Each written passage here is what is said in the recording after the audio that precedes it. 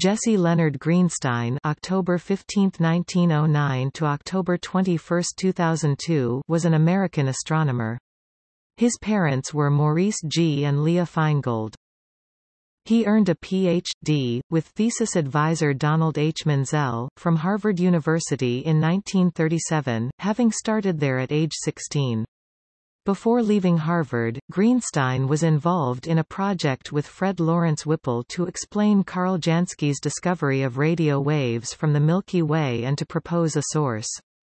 He began his professional career at Yerkes Observatory under Otto Struve and later went to Caltech. With Louis G. Henyey he invented a new spectrograph and a wide-field camera.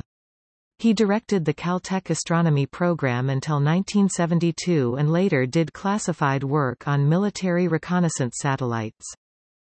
With Leverett Davis, Jr., he demonstrated in 1949 that the magnetic field in our galaxy is aligned with the spiral arms.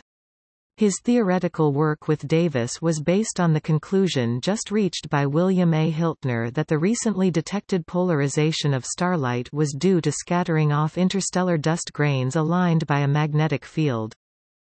Greenstein did important work in determining the abundances of the elements in stars, and was, with Maarten Schmidt, among the first to recognize quasars as compact, very distant sources as bright as a galaxy.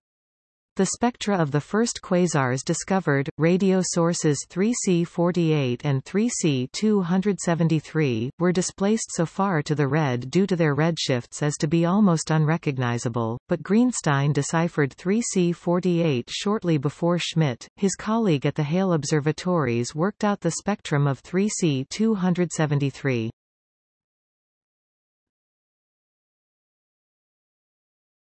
Topic. Honors Awards.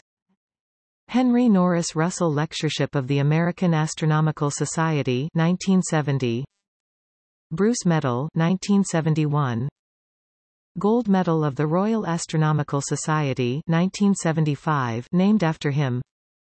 Asteroid 4612 Greenstein